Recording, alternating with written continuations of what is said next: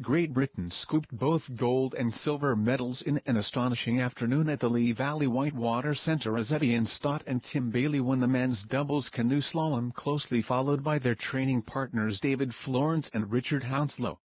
It was the first ever slalom gold medal for Great Britain, and the first of any color in the men's double C2 category and left the home crowd ecstatic.